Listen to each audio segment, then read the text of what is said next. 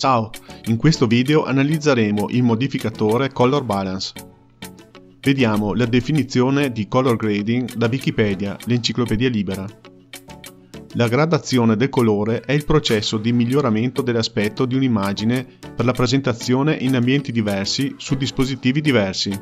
Vari attributi di un'immagine come contrasto, colore, saturazione, dettaglio, livello del nero e bilanciamento del bianco possono essere migliorati sia per i filmati o per le immagini fisse.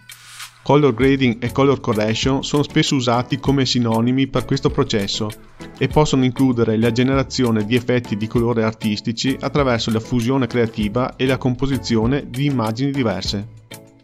Uno dei principali motivi d'uso del color grading è la necessità di riequilibrare i colori del girato delle fotocamere e videocamere impostate con il profilo CineStyle o C-Log Free.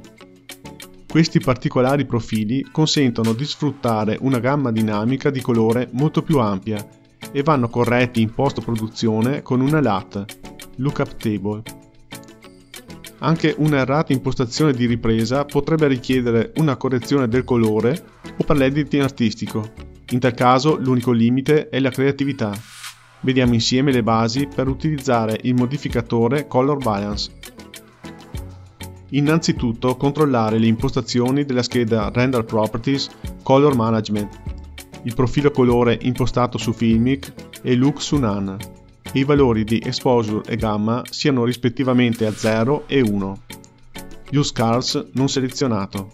Questo ci assicura di non avere un profilo colore attivo. Lo possiamo abilitare in un secondo momento.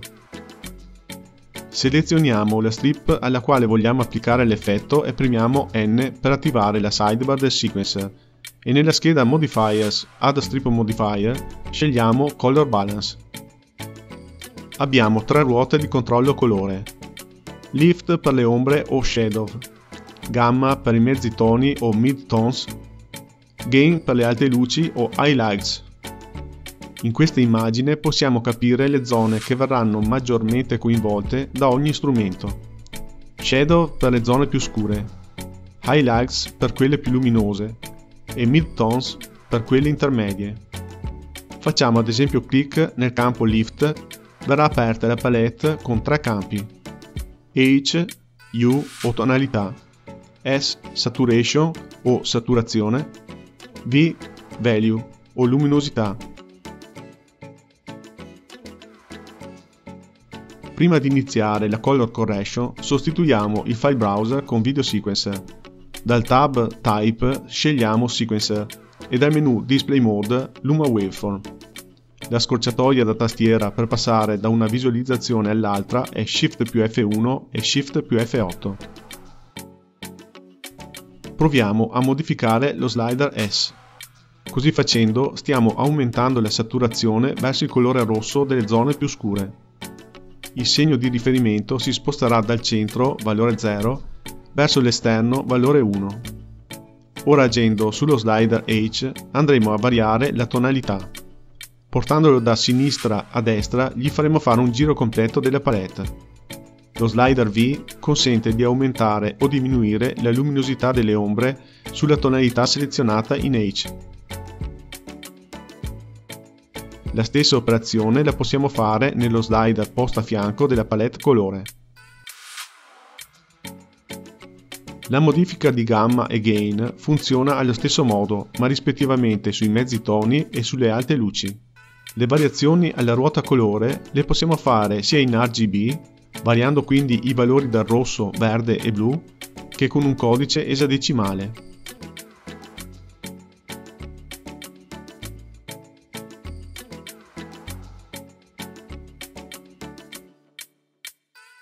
Evitiamo di portare i valori sopra la metà tra le due linee rosse superiori del waveform, per evitare di bruciare i bianchi e oltre la linea verde inferiore per bruciare i neri.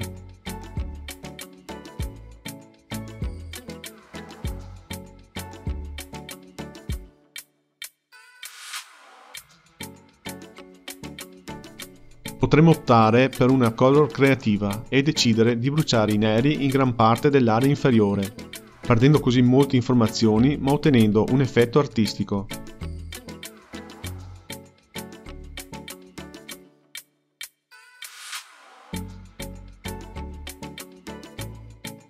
L'icona a forma di occhio consente di abilitare e disabilitare il modificatore con la possibilità di animare nel tempo tale azione agendo sul pulsante Animate Property.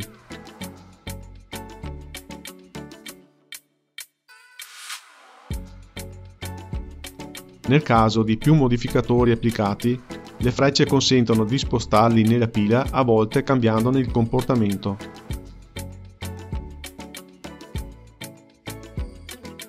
Per capire il funzionamento di Mask Input Type Strip, aggiungiamo una strip text che ci servirà da maschera. Ne modifichiamo le proprietà come testo, font,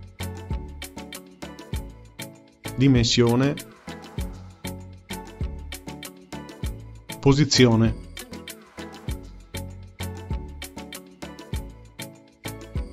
La nascondiamo premendo il tasto H. Ora dalla scheda Modifiers nel campo Mask scegliamo il testo appena creato.